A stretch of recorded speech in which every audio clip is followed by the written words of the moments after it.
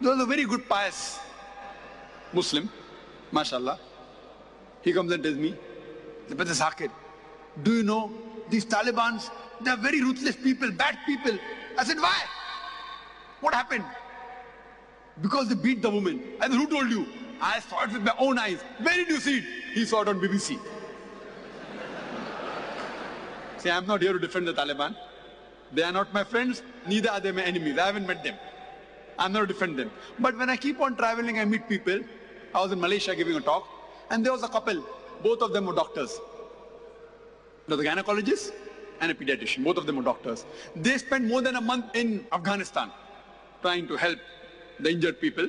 And that lady doctor, she told me, the shot they show on the television, a Taliban hitting the woman, they aren't Taliban. I said, how do you know? I said, see, because I've been with the Taliban. I know how they tie the turban. For example, we as non-Arabs, we will not find a difference between the way the Ghatra is tied of the Arabs. But Arab knows that the way an Emirati ties a Ghatra is different. The way a Saudi ties a Ghatra is different. The way a Kuwaiti ties is different. They know, we don't know.